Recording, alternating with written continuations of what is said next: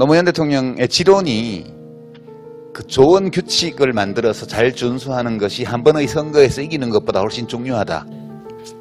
연동형 비례대표제 지난번에 도입해놓고 위성정당을 거대 정당들이 만들었습니다. 먼저 어, 국민의힘 쪽에서 만들었고 자유권 발동 차원에서 민주당도 만들었고 그랬습니다. 안 만들었어도 이겼을 텐데. 여하튼 그거 지금 방지 조항을 만들어야 되잖아요.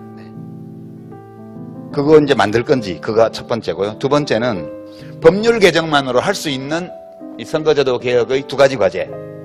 이 연동형 비례대표의 취지 실현을 위한 위해서 위성 정당을 만들지 못하게 하는 방안. 그다음 결선 투표제 도입. 이 두 가지 문제만 되면 적어도 헌법 개정 없이 할 수 있는 정치제도의 개혁에는 많은 개선이 이루어질 것 같다. 이런 생각을 하는 분들 많으세요. 어떠세요? 법으로 이걸 저, 희들이 막으려고 했더니 사실 법적으로는 방법이 별로 없습니다. 왜냐하면 제3당, 제4당이 등장할 수 있는 걸 막을, 막을 수가 없다라고 하는 게 법적으로는 고민입니다.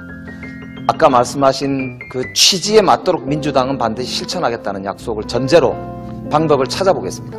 위성 정당이 만들어지는 것 자체를 못하게 만들 수는 없지만 그 효과를 무력화시키는 방법은 예를 들어서 민주당이 어, 비례대표를 반드시 일정 수 이상 내야 된다.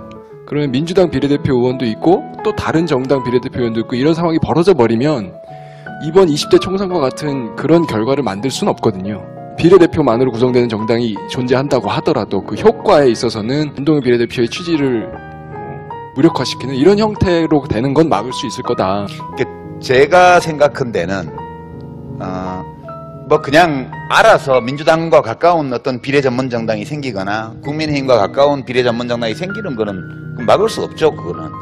근데 지난번처럼 두 당이 아예 비례대표를 공천을 안 한다 이건 심각한 문제예요.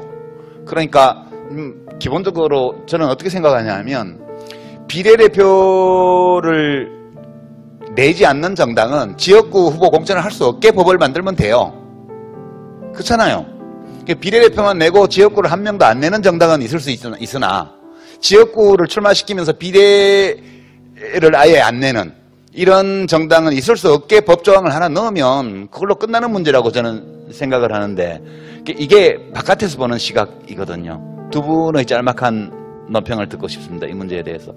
유시민 아까 이사장님 말씀하신 방향으로 저는 법안이 개정될 것이라고 그렇게 생각하고 있습니다. 예, 근데 제 제안에 대해서 어떻게 생각해요? 이거 왜 못해요? 도- 예. 어, 맞는 말씀입니다. 예. 맞는 말씀이고요. 근데 제가 말씀드린 건 뭐냐면 민주당과 가까운 사람들이 만든 새로운 3당, 4당 비례만을 노린 그 정당을 막을 수 없다면 비난은 저는 같이 들을 거라고 생각하거든요. 그 방 왜 막아요? 그러니까 이제 그래서 권리인데. 사실 제가 완벽하지 않다고 말씀을 드린 것이고요.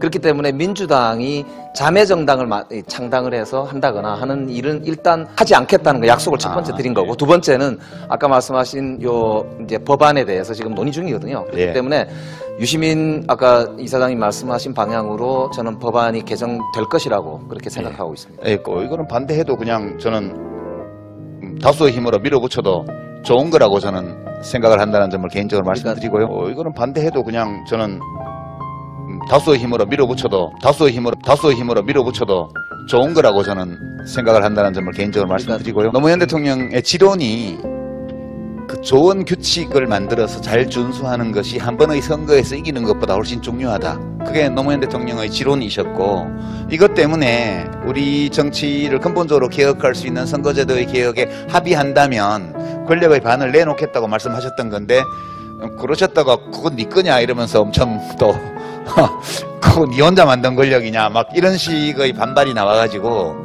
어, 굉장히